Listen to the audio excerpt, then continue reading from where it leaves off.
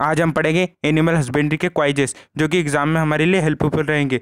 जिस भी एग्ज़ाम में एग्रीकल्चर से रिलेटेड पूछते हैं, उनमें एनिमल हस्बेंड्री के क्वाइजेस पूछते हैं। इसका पहले एक वीडियो मैं बना चुका हूँ, जिसे आप दे सकते हैं, उसकी लिंक मैं डिस्क्रिप्शन में दे रखूँ तो चलिए ये वीडियो शुरू करते हैं।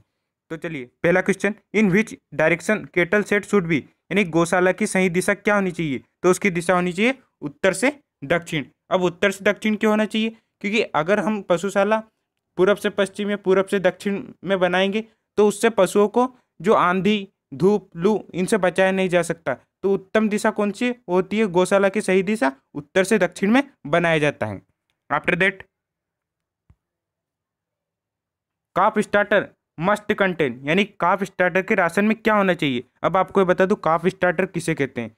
जैसे कोई गाय जब बछड़े को जन्म देती है तो बछड़े को कोलेस्ट्रम तो गाय के थनों से पिलाया जाता है, लेकिन उसके अलावा भी कुछ बाहरी तौर पे बाहरी तौर से बच, जो बछड़े रहते हैं, उनको आहार दिया जाता है। तो उस आहार को ही काफ स्टार्टर कहते हैं। तो काफ स्टार्टर के राशन में क्या होना चाहिए? तो काफ स्टार्टर के राशन में बीस से तेईस प्रतिशत डीसीपी एंड सत्तर से पिचहत्तर प्रतिशत टी डी एन यानी कि बीस से तेईस प्रतिशत पाचक क्रूड प्रोटीन तथा सत्तर से पिचहत्तर प्रतिशत कुल पाचक तत्व होना चाहिए।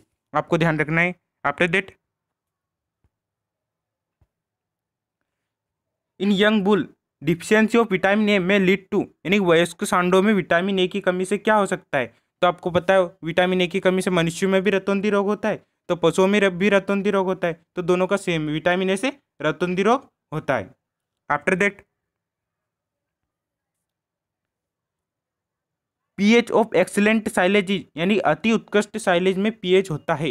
अब आपको बता दूँ साइलेज किसे कहते हैं? जैसे कि एग्ज़ाम्पल के तौर पर मैं आपको बताता हूँ जैसे कि फ़ूड को हमें बहुत दिनों तक रखना है तो उसकी प्रोसेसिंग की जाती है, उसको डिब्बे में बंद किया जाता है, जिससे वो रखा जाता है, सुरक्षित रहता है और कुछ दिनों बाद उपयोग कर लिया जाता है। उसी प्रकार साइलेज को, ये साइलेज कुछ नहीं होता है एक घास होता है। इस घास को हम गड्ढे में दबा कर रखते हैं, जिसको कुछ दिनों बाद प्रयोग में ला, लाते हैं पशुओं को खिलाने के लिए। तो उसे ही साइलेज कहते हैं। सिंपल भाषा में मैंने आपको बता दिया।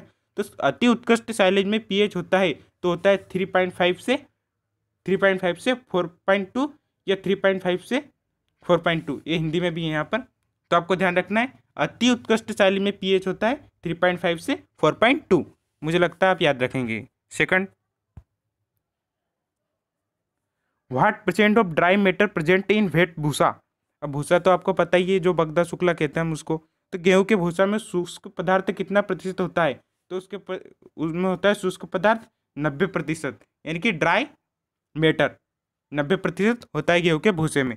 इसलिए आपको और कुछ फ़सलों के भूसे में शुष्क पदार्थ याद रखने चाहिए तो आप गूगल पर सर्च कर सकते हैं। After that in cows first ring on horn appears at the age of यानी गाय के सिंगों में प्रथम छल्ला कब बनता है? तो प्रथम छल्ला बनता है तीन साल में, यानी कि तीन साल में प्रथम छल्ला बन जाता है। अब छल्ला आपको समझ में नहीं आ रहा होगा, जैसे कि जब बछड़ा जन्म लेता है, उसको तीन साल बाद सिंग में एक छल्ला आ जाता है तो छल्ले से क्या? उसकी जो आयु ज्ञात की जाती है तो यहाँ पर गाय के सिंग में प्रथम छल्ला कब बनता है? यानी गाय यानी कि बछड़ा ही होता है। जब बछड़ा जन्म लेता है तो उसको बछड़ा ही कहेंगे। लेकिन कुछ दिनों बाद वो गाय का रूप धारण कर लेता है, लेकिन शुरू में बछड़ा ही कहते हैं। तो गाय के सिंगों में प्रथम छल्ला कब बनता है? तो बनता है तीन साल की उम्र में पहला छल्ला बन जाता है। After that best method of age age determination in cattle यानी गायों की गायों की उम्र ज्ञात करने की सर्वोत्तम विधि क्या है? यानी कि जैसे मनुष्य की उम्र तो हमें ज्ञात रहती है, लेकिन गायों की उम्र ज्ञात करने के लिए हमें वो थोड़ी बताएगी तो उसकी उम्र हमें ध्यान रखने के लिए कुछ विधियाँ प्रयोग की जाती है। उसमें जैसे कि सिंगों को देखकर, खुरों को देखकर, दंत विधि, सामान्य विधि तो विधियाँ तो सभी गाय की उम्र ज्ञात करने की है, लेकिन इसमें सबसे अच्छी विधि कौन सी है? तो सबसे अच्छी विधि है दंत विधि। अब आप पूछेंगे, दंत विधि सबसे अच्छी क्यों है? तो इसलिए क्योंकि सिंग सिंग सिंग से अगर विधि सिंग से ज्ञात करेंगे तो बहुत सारे पशुओं के सिंग के जो छल्ले रहते हैं, वो घिस जाते हैं। जैसे हमने ऊपर के ऑब्जेक्टिव पढ़ा कि गायों की प्रथम छल्ला कब बनता है तो तीन साल की उम्र में। इसी प्रकार जो सिंगों को देखकर, जो छल्ले रहते हैं ना सिंग में, उनको देखकर आयु ज्ञात की जाती है। लेकिन इसका ऑप्शन ये उत्तम, अति उत्तम विधि नहीं है। खुरों को देखकर तो खुर तो घिस जाते हैं। अगर पशु चारगा में जाते हैं तो ये भी उत्तम विधि नहीं है।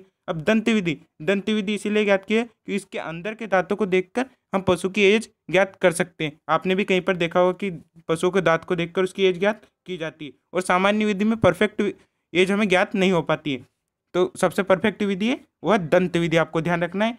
द परफेक्ट विधि यानी dental formula. After that by score card method maximum number is given on. यानी स्कोर कार्ड विधि में सबसे ज़्यादा अंक किसे दिए जाते हैं? तो किसको दिए जाते? उद्याय दिए जाते अयन के विकास पर, यानी कि अडर डेवलपमेंट अब आपको समझ में आ रहा है स्कोर कार्ड किसे कहते हैं? स्कोर कार्ड जैसे कि पशुओं का हर, यदि कोई सा भी अंग हो, जैसे कि मुँह, पूछ, थन, पैर, इन सबको अंग दिए जाते, अंक दिए जाते और टोटल अंक होकर हंड्रेड अंक होते हैं, यानी कि टोटल हंड्रेड होते हैं। तो उनमें से सबसे ज़्यादा अंक किसे दिए जाते जैसे कि पूछ को दिए जाते, मुँह को दिए जाते हैं या आयन को दिए जाते हैं थन को दिए जाते हैं तो किसे दिए जाते हैं सबसे ज़्यादा अंक? यानी जैसे कि किसी को पाँच दिए गए, किसी को सात दिए गए तो सबसे ज़्यादा किसे दिए जाते? हैं वो दिए जाते आयन विकास पर, क्योंकि आयन ही मुख्य रहता है दूध उत्पादन के लिए तो आयन विकास पर सबसे ज़्यादा स्कोर कार्ड में अंक दिए जाते हैं। After that maximum egg producing breed of poultry is सबसे अधिक अंडा उत्पादन करने वाली मुर्गी की नस्ल कौन सी है? तो आपको पता ही है तो ऑब्सोल्युटली पता होगा क्योंकि आप एग्ज़ाम की तैयारी कर रहे हैं तो एग्रीकल्चर को तो पढ़ ही रहे होंगे। तो, तो आपको पता है व्हाइट लेगॉर्न अब व्हाइट लेगॉर्न तो आपको पता है लेकिन इसमें कुछ मुर्गियों की नस्ल है उनके बारे में आपको मैं बता देता हूँ। अब देखिए कड़कनाथ यहाँ पर। आपको आंसर ध्यान रखना है सबसे अधिक अंडा उत्पादन व्हाइट लेगॉर्न लेकिन मैं कुछ और के बारे में बता रहा हूँ। कड़कनाथ अब कड़कनाथ कड़कनाथ जो मुर्गी है मध्य मध्य प्रदेश की मुर्गी। अब आपको बता दूँ, कड़कनाथ की कुछ विशेषताएँ जो कि एग्ज़ाम में अधिकतर पूछते कड़कनाथ का मांस भी काला होता है, आपको बता दूँ, इसका रंग भी काला होता है व इसका खून भी काला होता है। तो अगर हमसे पूछ ले कि वहाँ कौन सी मुर्गी है जिसका मांस, खून, रंग तीनों काले होते तो कड़कनाथ है। और अगर पूछ ले कि मध्य प्रदेश की सबसे प्रसिद्ध नस्ल कौन सी है, झाबुआ डिस्ट्रिक्ट की तो है कड़कनाथ। ये अधिकतर एग्ज़ाम में पूछा जाता है, आपको परफेक्टली ध्यान रखना है। और आई, आर आई, ये एक मुर्गी की नस्ल है, लेकिन मुझे इसके बारे में डिटेल नहीं पता है। और असील ये लड़ाकू मुर्गी है, आपको ध्यान रखना लड़ाकू मुर्गी है। तो आपको बता दिया मैंने इन चारों के बारे में डिटेल्स तो आपको ध्यान रखना है। हमारा आंसर क्या है? सबसे अधिक अंडा उत्पादन करने वाली मुर्गी की नस्ल, वो है व्हाइट लेगॉन। और कड़कनाथ के बारे में आपको बता दिया, असील के बारे में बता दिया, और I, R I R I, R के बारे में मुझे डिटेल में पता नहीं चलो नेक्स्ट ऑब्जेक्टिव देखते हैं। Egg producing bird is called as यानी अंडा उत्पादन करने वाली मुर्गी क्या कहलाती है? अब देखिए अंडा उत्पादन करने वाली मुर्गी अलग कहलाती है और मांस उत्पादन करने वाली मुर्गी अलग कहलाती है। तो अंडा उत्पादन करने वाली मुर्गी कहलाती है लेयर। लेयर, ये भी आपको पता होगा, लेयर। और अब मांस उत्पादन करने वाली मुर्गी क्या कहलाती? उसे ब्रॉयलर बोलते हैं। जैसे कि अगर दो मुर्गियाँ खड़ी हैं, अब कोई अंडा उत्पादन करती है तो हम उसे बोलेंगे ए ब्रॉयलर ये लेयर है। और अगर कोई मांस उत्पादन करती है, यानी मांस के लिए पाली जाएगी कोई मुर्गी तो उसे बोलेंगे ये ब्रॉयलर मुर्गी। चलिए नेक्स्ट ऑब्जेक्टिव देखते हैं। How much space is required for एक पोल्ट्री यानी अंडा देने वाली मुर्गी के लिए कितनी जगह की आवश्यकता पड़ेगी? तो पड़ेगी तीन वर्ग फुट की। कितने की? तीन वर्ग फुट की। आपको ऐसे ही गाय के लिए कितनी जगह की ज़रूरत पड़ेगी? और बछड़े के लिए कितनी जगह की ज़रूरत पड़ेगी? ये भी आपको गूगल पर सर्च कर लेना, वहाँ पर आपको पता चला जाएगा। आपको बता दिया हमने, अंडा देने वाली मुर्गी के लिए कितनी जगह की आवश्यकता पड़ेगी? उसके लिए पड़ेगी तीन वर्ग फुट की। आप ज़रूर सर्च करना भैंस के लिए कितने वर्ग फुट की जगह पड़ेगी? ज़रूरत पड़ेगी, गाय के लिए कितने वर्ग फुट की जगह पड़ेगी? एब्सोल्युटली आपको मिलेगा क्योंकि गूगल पर हर सर्च मिल जाती है। चलिए नेक्स्ट ऑब्जेक्टिव देखते हैं।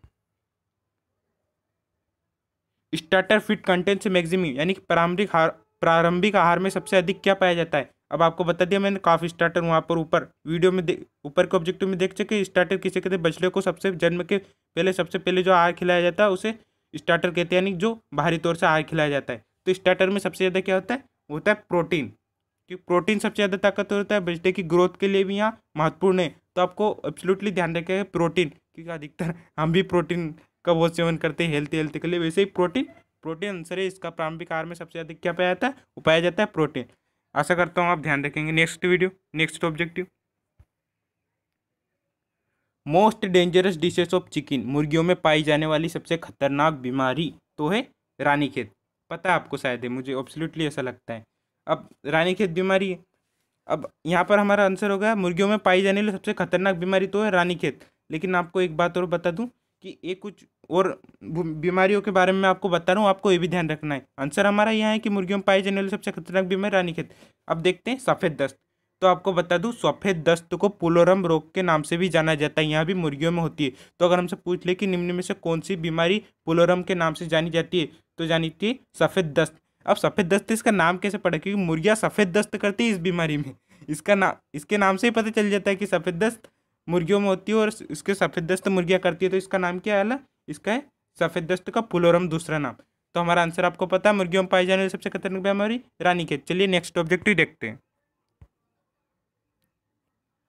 Which diseases spread through virus in cattle यानी कि गायों में विषाणु से फैलने वाली बीमारी कौन सी है? तो आपको पता है विषाणु और बैक्टीरिया से बीमारी फैलती है। तो गायों में विषाणु से फैलने वाली बीमारी कौन सी है? तो है खुरपका मुहपका। अब आपको ये तो पता होगा एग्रीकल्चर पढ़ रहे होगे तो आपकी खुरपका मुहपका गायों में विषाणु से होती है। लेकिन आपके बारे में कुछ और बता दो इसको। खुरपका मुहपका एक ऐसा रोग होता है जिसमें पशुओं के जो खुर, अयन व मुँह में छाले पड़ जाती हैं। और अब आपको ये तो देख देख लिया हमने गाँव में विषाणु से फैलने वाली बीमारी खुर पका मुँह पका है। लेकिन आपको कुछ और बीमारियों के बारे में बता देता हूँ मैं यहाँ पर। अब दुग्ध ज्वर दुग्ध ज्वर दुग्ध ज्वर आपको बता दूँ, अगर गाय, हमसे पूछ लो ऑब्जेक्टिव में कि निम्न में से किसकी कमी से गाय में दुग्ध ज्वर होता है, यानी कि मिल्क फेवर तो हमें बताना है कैल्शियम की कमी से दुग्ध ज्वर गाय में होता है, यानी कि मिल्क फेवर एंथ्रेक्स एंथ्रेक्स एक बैक्टीरिया से होने वाली बीमारी है, इसका नीचे के ऑब्जेक्टिव में हम पढ़ेंगे। तो चलिए देखते हैं। एंथ्रेक्स इट कॉस्ड बाई यानी कि एंथ्रेक्स बीमारी होती है। जैसे आपको बोला था मैंने, हम नेक्स्ट डे ऑब्जेक्टिव में देखेंगे तो यहाँ पर आ गया। Anthrax is caused by anthrax बीमारी होती है तो होती है जीवाणु से। धन्यवाद मेरा वीडियो देखने के लिए। अगर आपको पसंद आया हो तो ज़्यादा से ज़्यादा शेयर कीजिए, जिससे मेरा उत्साह बढ़ेगा आगे की वीडियोस बनाने के लिए। लाइक कीजिए कमेंट कीजिए। अगर आपको वीडियो पसंद आया हो तो ज़रूर से ज़रूर कमेंट कीजिए कि जो भी कमेंट करता है, जिससे मेरा उत्साह बढ़ता है। और सब्सक्राइब भी मेरे चैनल को बेल आइकन को।